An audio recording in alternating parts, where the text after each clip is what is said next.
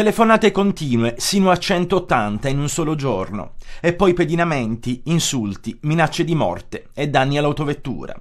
Un incubo durato un anno e mezzo, quello vissuto da una donna di Bitritto, vittima della follia del suo ex compagno che non riusciva ad accettare la fine della loro relazione.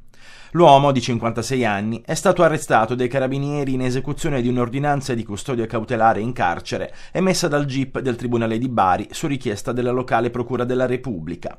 Il provvedimento è scattato a seguito delle indagini condotte dai militari dopo le due denunce presentate dalla donna, la prima circa un anno e mezzo fa, quando hanno avuto inizio le molestie.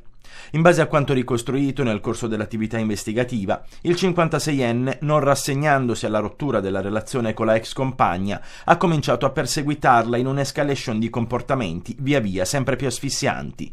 Prima le telefonate ad ogni ora del giorno e della notte, poi i messaggi contenenti insulti e minacce di morte. Nelle ultime due settimane la situazione è precipitata. L'uomo ha iniziato a seguire la vittima in strada, arrivando a danneggiarle anche il finestrino dell'auto.